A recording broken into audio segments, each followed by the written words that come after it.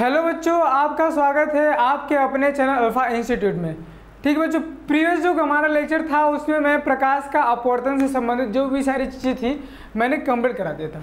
ठीक बच्चों तो जो हम लोग प्रकाश के अपवर्तन के बारे में पढ़ रहे थे, वो सब सारी चीज़ें बच्चों क्या था कि वो सब सारी चीज़ें सब प्लेन के लिए था, ना? जैसे मान लो कि एक टब में पानी भरा है तो पानी क्या रहेगा? प्लेन में रहेगा।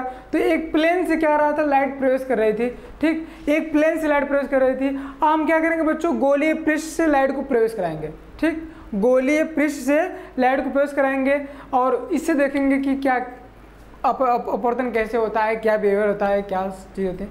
जैसे हम लोग देखो, जो प्रकाश का हम लोगों का परावर्तन था तो प्रकाश के परावर्तन में हम समतल पृष्ठ पे देखे थे कि किसी समतल पृष्ठ पे जब कोई लाइट गिरती है तो अपवर्तन के पश्चात उसी माध्यम में वापस चली जाती है। ठीक, फिर जब हम समतल पृष्ठ पे पढ़ रहे थे, सब डाटा पढ़ लिए थे तो फिर हमने एक्सपेरिमेंट करने का क्या लिया था?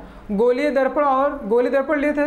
गोली दर्पण, उत्तल दर्पण और अवतल दर्पण पढ़े थे। ठीक बच्चों, इसी प्रकार से यहाँ पे हम लोग क्या किए हैं कि प्रकाश का अपवर्तन पढ़ लिए हैं, ठीक, उसके बारे में सारी चीज़ें हमारी हो गई हैं तो उसी के बेसिस पे हम क्या करेंगे कि गोली पृष्ठ से अपवर्तन के बारे में अध्ययन करेंगे और यहाँ भी हम लोग इमेज इमेज फॉर्म करके दिखलाएँगे, ठीक। तो पहले हम यहाँ पे जैसे उसके लिए चिन्ह प्रॉपर्टी देख लिए थे, ना, यहाँ भी चिन्ह प्रॉपर्टी देख लेते हैं सेम वही चिन्ह प्रॉपर्टी होती है, ठीक है। जो वहाँ पे मैंने पढ़ा था प्रकाश के परावर्तन में चिन्ह की प्रॉपर्टी सेम वही चिन्ह की प्रॉपर्टी यहाँ भी होगी। जैसे मान लीजिए आपका कोई एक लेंस है ये ठीक ये लेंस है, ठीक? तो लेंस के इधर की साइड को हम क्या लेते हैं? निगेटिव साइन में लेते हैं, ठीक है? इधर की साइड को क्या लेते हैं बच्चों? प्लस के साइड में लेते हैं, ठीक? तो मतलब क्या कहेंगे कि जिधर से लाइट आती है, जिधर से मतलब इधर से लाइट आएगी ना? इधर से लाइट आ रही है, जिधर से लाइट आएगी, उधर क्या लेंगे? निगेटिव और जिधर को जाएगी ना?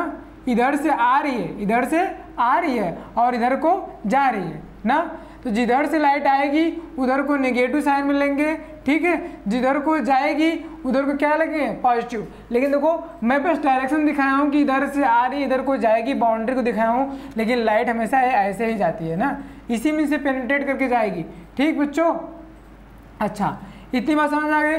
अब देखो जो अगर के हम ऐसा खींच देते हैं तो परपेंडिकुलर एबब ना? परपेंडिकुलर मतलब लंबोत ऊपर की दूरी को क्या लेते हैं बच्चों? पॉजिटिव लेते हैं। लंबोत नीचे की दूरी को क्या लेते हैं? निगेटिव मतलब जब कोई वस्तु हम ऊपर रखेंगे तो वस्तु की ऊंचाई, वस्तु की को किसमें रखेंगे? पॉजिटिव रखेंगे। और वस्तु की लंबाई अगर के नीचे प्रतिबिंब बनता है तो उसको किसमें रखेंगे बच्चों? निगेटिव में रखेंगे। ना? तो नीचे की दूरी को क्या लेंगे? निगेटिव ऊपर की दूरी को पॉजिटिव ठीक? इधर की दूरी को प्लस इधर की दूरी को निगेटिव लेंगे। ठीक? जो हम लोगों का जो कार्टेशियन सिस्टम होता है नंबर लाइन सिस्टम होता है, उसमें जो सारी चीज़ें होती हैं, बिल्कुल वही चीज़ होता है इसमें। ना? ठीक? अगर कि उसको ध्यान से उसको और इसको रिलेट करोगे, ठीक है? सेम पक्का वही बैठेगा। ठीक है? तो उसको रिलेट करके आप पढ़ लीजिएगा। इसके बाद हम लोग करेंगे क्या? कि गोलीय पृष्ठ जो प्रकाश का जो अपवर्तन होता है, उसके बारे में एक फार्मूला होता है, उसको हम प्रूव करेंगे। ठीक है? तो लिखिए भी हम क्या? गोलीय होता है पृष्ठ पर अपवर्तन का सूत्र। देखिए कैसे आता है। क्या करेंगे कि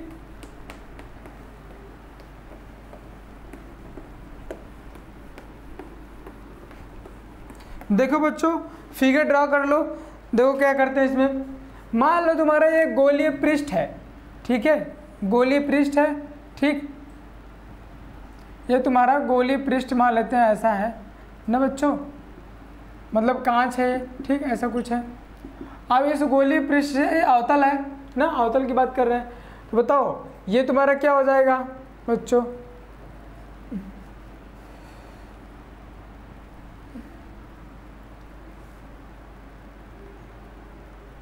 ठीक, ये होगा आपका प्रिंसिपल एक्सिस मुख्य अक्ष जैसे उसमें होता था, वैसे इसमें भी होगा मुख्य अक्ष होगा। ना बच्चों?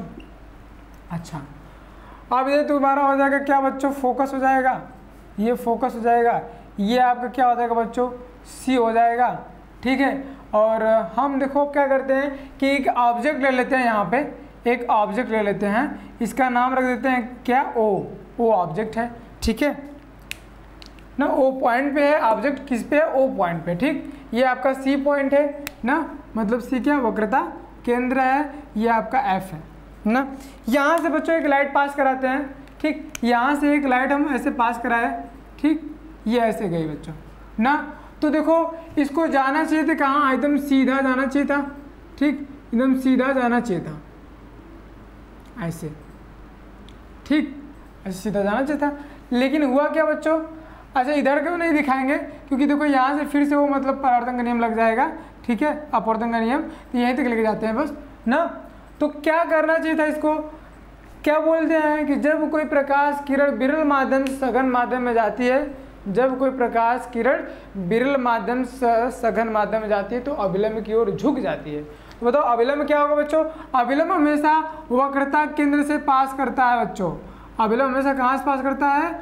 वक्रता केंद्र से पास करता है। तो आपका अविलंब रहा है तुम्हारा अविलंब था, ठीक है? ये था अविलंब, ठीक है? ये आपका अविलंब, ना? तो लाइट क्या करेगी बच्चों? अविलंब की ओर झुक जाएगी, ना? अविलंब की ओर क्या होगी? झुक जाएगी। तो कुछ ये ऐसा चला जाएगा लाइट ना? मान लो ऐसे रिफ्लेक्ट हो गया, ना? तो बताओ ऐसा किधर से लगा है कहाँ से लाइट आ रही है लगभग? ऑलमोस्ट कहाँ से लगेगा कि लाइट आ रही है? ठीक? ना बताओ, ऐसा लगेगा कि लाइट लगभग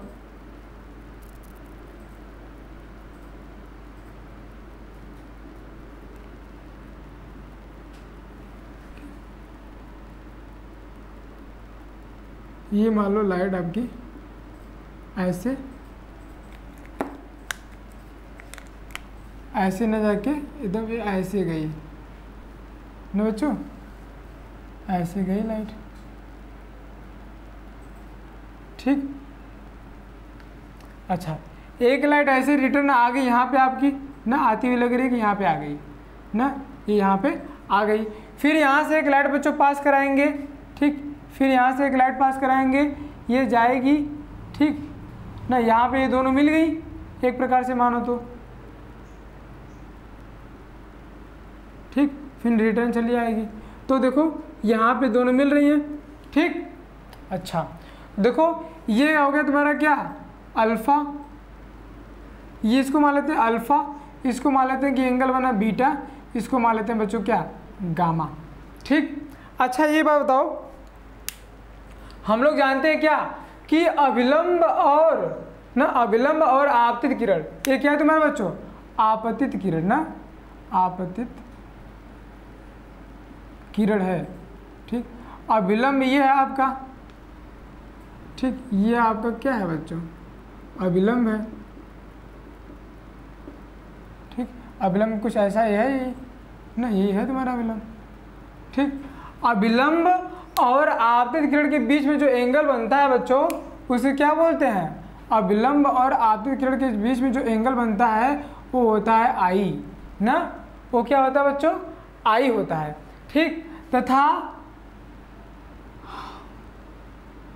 अपवर्तित किरण तथा अविलंब के बीच में, अपवर्तित किरण तथा अविलंब के बीच में जो एंगल बनता है, वो क्या होता है बच्चों? आर होता है। बताइए, ये जब ये आर है तो इसका देखिए इनिशियल पॉइंट क्या है? ये है, ना? इसका ये है तो ये तुम्हारा जो होगा एंगल, ये वाला एंगल, वो क्या होगा बच्चों?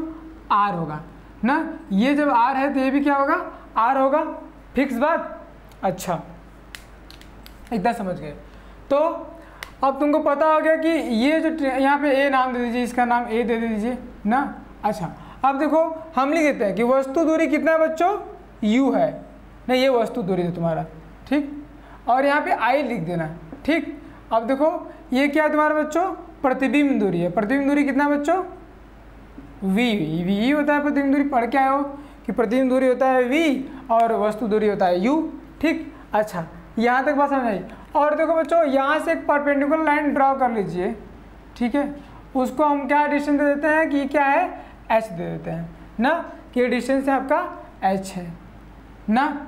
अच्छा। इतना फिगर हमारा बन के तैयार हो गया। ना, आप देखो बच्चों, इसको प्रूफ जो दर्पण का सूत्र है हमारा, अपवर्तन का जो सूत्र है, ना, गोल अवतल पृष्ठ से अपवर्तन का सूत्र, इसको निकालने के लिए पहला काम करेंगे कि हम जाएँगे इस वाले ट्रेंगल में। ट्रेंगल आई ए सी में बच्चों, ना, लिखो ट्रेंगल आई ए सी में क्या मिल जाएगा बच्चों? तुमको मिल जाएगा गामा इक्वल टू मिल जाएगा बीटा प्लस में आर ये देखो, तुम्हारा आर है, ना, अब तुमको, ये तुम्हारा आर है, और इसको हम दिखा देते हैं ताकि आप लोगों को थोड़ा सा दिखे भाई। हम्म,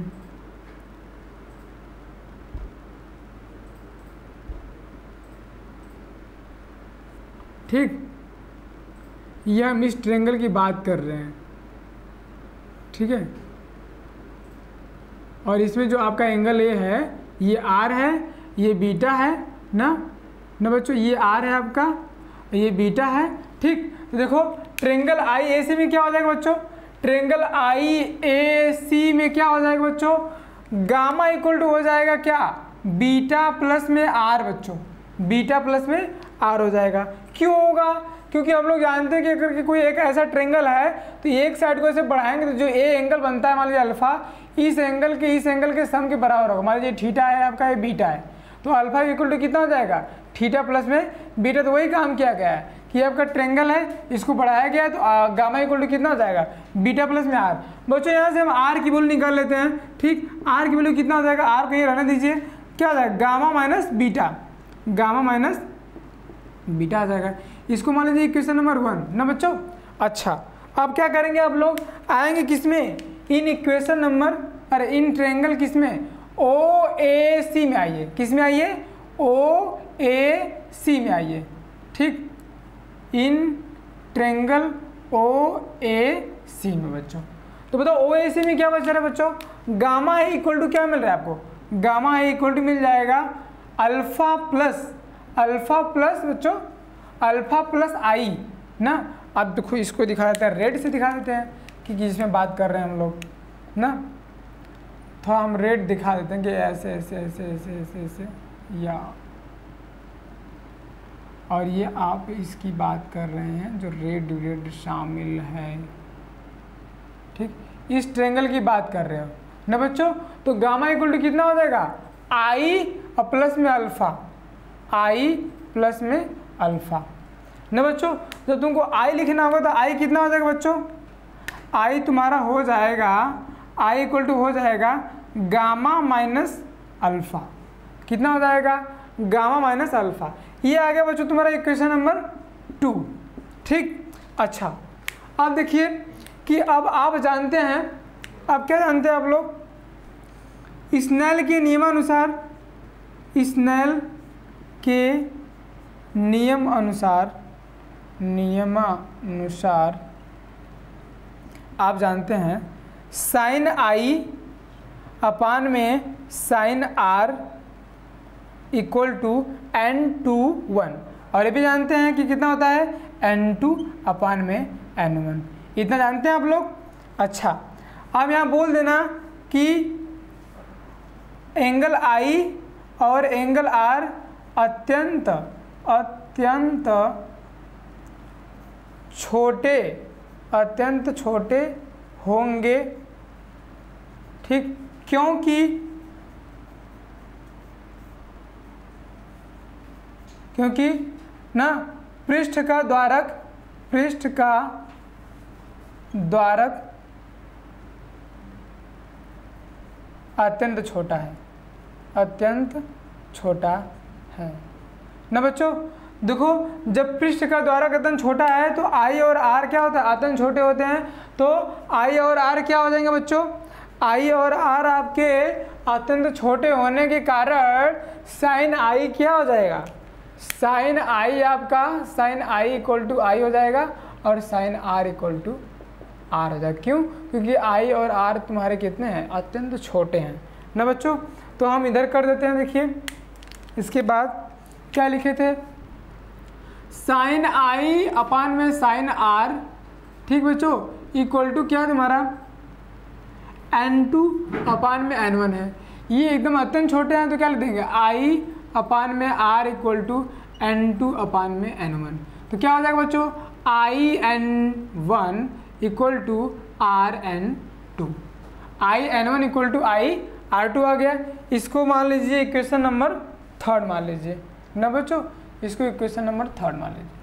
अच्छा अब क्या करेंगे कि आ, आई और आर का वैल्यू इक्वेशन नंबर वन और समीकरण नंबर वन और दो से रखने पर. ठीक इसको मिटा देते हैं. ठीक लिख दीजिए क्या? आई व एंगल आई व एंगल आर का मान का मान समीकरण नंबर एक व दो से रखने पर बच्चों, रखने पे क्या आ जाएगा बताइए? आई इक्वल टू कितना हो जाएगा? आई इक्वल टू आपका गामा माइनस अल्फ़ा। क्या है बच्चों? Gamma minus alpha. इंटू क्या बच्चों? N one. Equal to r n two. ना बच्चों, आर एन टू। तो आर की वैल्यू कितनी बच्चों? Gamma minus beta. ठीक? कितना हो जाएगा बच्चों ये तुम्हारा? N two. अच्छा यहाँ पे काम कर सकते हो। एन वन को मल्टीप्लाई और एन टू को मल्टीप्लाई कर दीजिए। तो gamma n one minus gamma alpha n one equal to gamma n two minus beta n two. ना बच्चों तो क्या करो कि गामा वालों को एक तरफ़, बीटा वालों को एक तरफ़ और अल्फ़ा वालों को एक तरफ़ कर देते हैं। तो कितना हो जाएगा देखो, बीटा एन टू किधर ला दीजिए। तो beta n two minus alpha n one equal to gamma n two minus gamma n one हो जाएगा। ना बच्चों, इतनी बात समझ में आ रही है? ना? तो क्या करोगे यहाँ पे? Beta n two minus alpha n one equal to यहाँ से गामा कामा ले लीजिए। गामा कामा जाएगा तो कितना हो जाएगा बच्चों? एन टू माइनस में एन वन हो जाएगा। ठीक, इतनी बात समझ में आई? अच्छा वहाँ तक नोट कीजिए। इसको मान लीजिए आप क्या? इक्वेशन नंबर फोर ना बच्चों? अच्छा अब देखो, हमारे फिगर का काम अब लगभग लगभग ख़त्म नहीं हुआ अभी। अभी हमको एक और काम करना है। ठीक है? तो इसके बाद हम इधर कर देते हैं। ठीक, इतना नोट कर लीजिए। इसके बाद हम इधर करते हैं। अच्छा बच्चों, एक बात बताओ। अगर कि हमको लिखना पड़ेगा अल्फ़ा की वैल्यू, ना? तो ये तुम्हारा एच है। ये तुम्हारा क्या है? टोटल यू है। ये तुम्हारा क्या है? वी है। और देखो बच्चों, जो तुम्हारा ये ए है, यहाँ पे डी मान लेते हैं और ये पॉइंट को मान लेते हैं कि एम है, ना? तो ये तुम्हारा ए डी पॉइंट है, वो एम के बिल्कुल करीब होगा, ना? ये फिगर में दिख रहा है ऐसा, लेकिन ये डी पॉइंट एम के बिल्कुल करीब होगा। तो हम डी पॉइंट को एम पॉइंट मानेंगे, ना बच्चों? ये मान के चलेंगे, ठीक? अच्छा अब देखो, हम बोल देते हैं क्या कि इन ट्रेंगल इन ट्रेंगल बच्चों ओ ए डी में ओ ए डी में मतलब क्या लिखते हैं? Tan alpha equal to tan alpha equal to क्या हो जाएगा बच्चों? टेन थीटा बराबर लंब बटा के आधार। तो बताइए, इस अल्फ़ा के रिस्पेक्ट लंब क्या होगा? ए डी ना बच्चों ए डी अपान में ए डी अपान में ओ एम लिखना। क्या लिखना? ओ एम ठीक? या फिर ऐसे लिख दो। ए डी अपान में O D equal to A D upon में ओ एम कोई दिक्कत? न बच्चों? अच्छा इसको मान लो स्टार ठीक? स्टार एक स्टार स्टार वन मान लीजिए। स्टार वन मान लीजिए।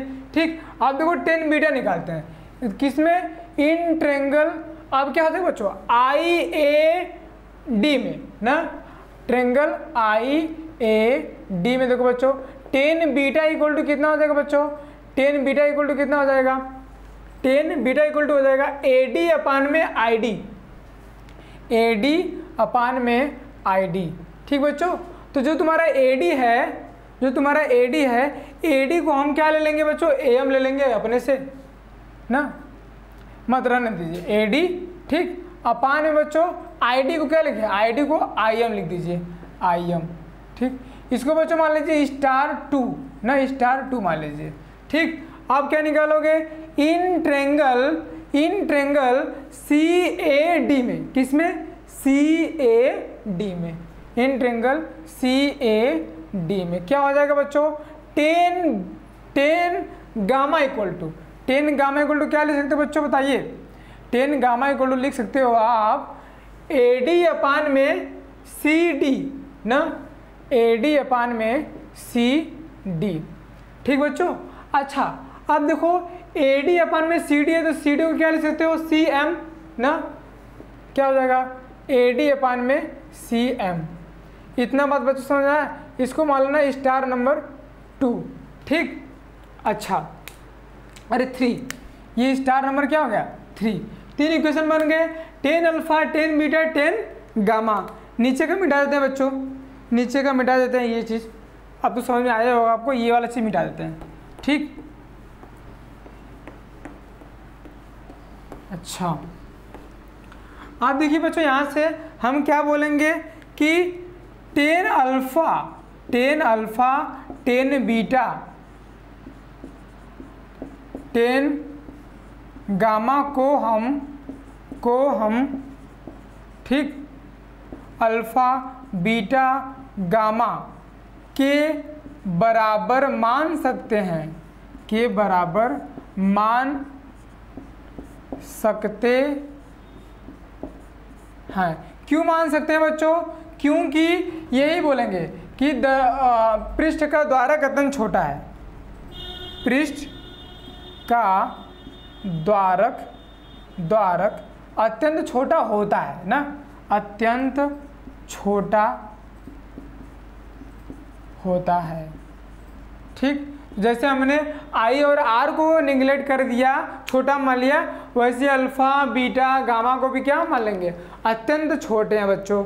ठीक? अत्यंत छोटे हो जाएँगे तो बताइए टेन अल्फ़ा ठीक? अल्फ़ा की इक्वल हो जाएगा टेन बीटा ठीक? बीटा की इक्वल हो जाएगा और टेन गामा किसके इक्वल बच्चों? Tan gamma equal to gamma की इक्वल हो जाएगा। ना? यहाँ से बच्चों एक और काम कर लीजिए। देखिए एडी है क्या आपका? क्या माने हम? एडी आपका क्या है? एच है। ना? एडी आपका क्या बच्चों? एच है। तो एच हो गया अपान में। ओ एम क्या बच्चों? ओ एम यू वस्तु दूरी है। एच बाई यू ठीक बच्चों, और क्या कर सकते हो फिर से? ए डी बराबर एच और आई एम आई एम क्या बच्चों? वी है, ना? वी रख दीजिए, ना? ठीक से फिर यहाँ पे देखो क्या बच्चों, क्या कर सकते हो? ए डी फिर से क्या बच्चों? एच है और सी एम सी एम क्या बच्चों? सी एम क्या होता है बच्चों? आर होता है ना? ठीक? सी एम क्या होता है? आर होता है? ये तो सबको पता होगा आर होता है। ठीक? आर दीजिए एच बाई आर बच्चों। ठीक, अब क्या करेंगे हम? Equation number star one star two और स्टार नंबर थ्री में क्या कर देंगे? टेन अल्फ़ा और अल्फ़ा बीटा गामा की वैल्यू हो जाएगा, ना? तो क्या कर देंगे कि अल्फ़ा इक्वल टू कितना हो जाएगा बच्चों? एच बाई यू हो जाएगा, ना? एच बाई यू हो जाएगा।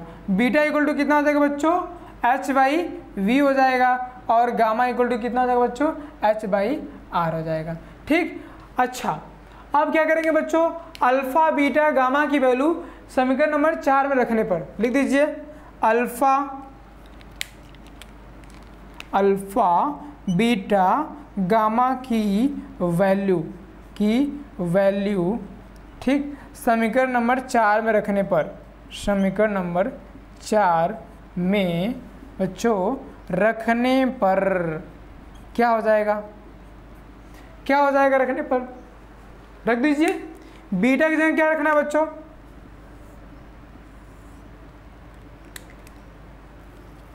अच्छा। अब इतना मिटा देते हैं, ठीक है? ऊपर का इतना मिटा देते हैं, देखिए।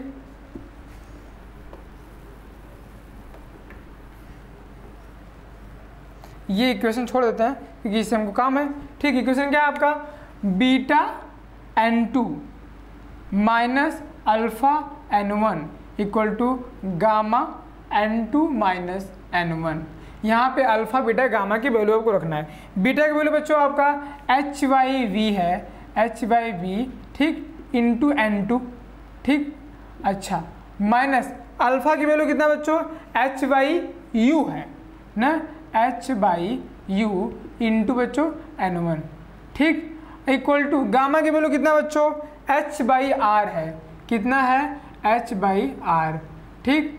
N two minus n one ठीक बच्चों, यहाँ पे एक चीज़ याद रखिएगा बच्चों, जो हमारा v है, u है और r है, इन सबको हम नहीं लिए साइन के साथ, क्योंकि दोनों के दोनों आपस में क्या कट जाएँगे। ना, इसलिए साइन के साथ नहीं लें। देखो, अगर कि u को साइन के साथ लिखो तो u क्या लिखोगे?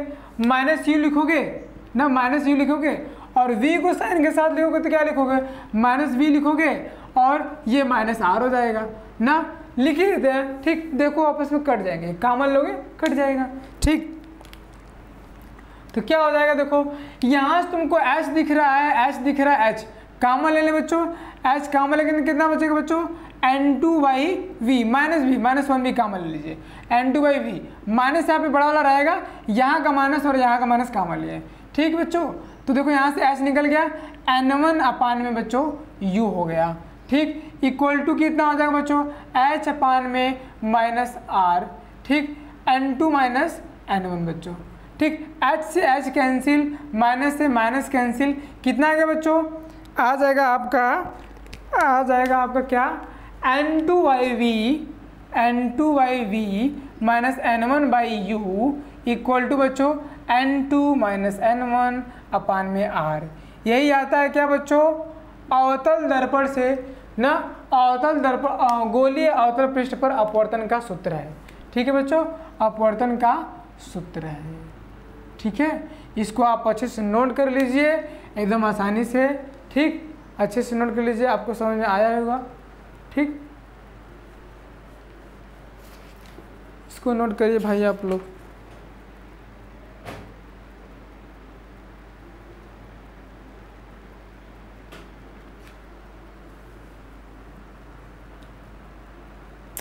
अच्छा एक बात ध्यान देना बच्चों, जो तुम्हारा N2 और N1 है N2 किसके लिए बच्चों? ये जो तुम्हारा सघन माध्यम था। N1 किसके लिए बच्चों? ये तुम्हारा बिरल माध्यम है, ना? तो बोल देना कि अगर के N2 कोई सघन माध्यम है, ना? इतना हो गया नोट मिटा दें हम। मिटा देते हैं, बस एक इसमें पॉइंट बता देते हैं और इसके बाद की चर्चाएँ हम लोग कल करेंगे, ठीक है? इसको मिटा देते हैं हम।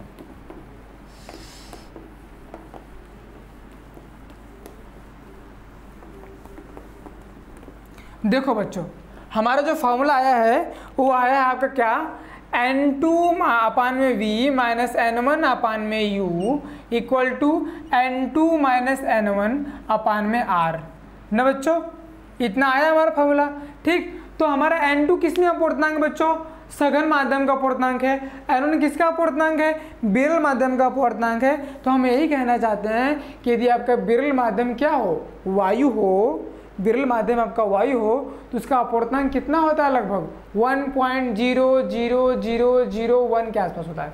तो वन मानते हैं, ठीक? या फिर निर्वात हो तो वो क्या होता है उसका अपूर्णांक वन होता है तो यहाँ पे एन का वैल्यू वन हो जाएगा। लिख देना कि यदि, लिख देना, यदि विरल माध्यम, यदि विरल माध्यम निर्वात हो, निर्वात या फिर वायु हो हो तो देखो क्या करना है? बस एन वन की जगह क्या हो जाएगा? वन हो जाएगा। तो एन टू अपान में वी माइनस वन अपान में u equal to n two minus one upon में आर ये भी होता है। ठीक? इसके बाद की चर्चा हम अगले क्लास में करेंगे। ठीक? ये थोड़ा सा डिफ़िकल्ट टॉपिक था, इसलिए मैं आपको क्या बर्डन नहीं देना चाहता हूँ। इस फार्मूला ये फार्मूला आपको क्या होना चाहिए? याद रहना चाहिए। ठीक? आज के लिए इतना ही। ठीक? और आप लोग मन से पढ़िए आप लोग का बोर्ड का एग्ज़ाम आ गया है ठीक है? आने वाला है मतलब होगा बहुत जल्दी इस बारी। तो मतलब क्या हो हो रहा है इस बार कि मतलब जो पैटर्न हम लोग का चेंज हो गया था ठीक है? वो पैटर्न फिर से हम लोग क्या आ, मतलब लागू करेंगे ताकि मतलब जो बच्चों का डिले टाइम से पेपर हो रहा है हो, हो गया था फिर नहीं हुआ ठीक? उसको कंटिन्यू करने के लिए ठीक? पेपर आपके जैसे होते थे उसी समय पे होंगे और उसी को ध्यान में रखते हुए हम लोग क्या कर रहे हैं कि आप लोग का दोनों पार्ट जल्दी जल्दी कवर कर रहे हैं। ठीक है? आप लोग हमारे चैनल से जुड़िए और उन बच्चों तक भी पहुंचाइए जो अभी स्कूल नहीं जा पा रहे हैं या फिर किसी वजह से मतलब नहीं पढ़ पा रहे हैं, उनके पास शेयर कीजिए और मेरा चैनल सब्सक्राइब कीजिए ताकि हम लोगों को आप लोगों का अच्छा से हेल्प कर सकें। ठीक? टेक केयर बाय बाय धन्यवाद।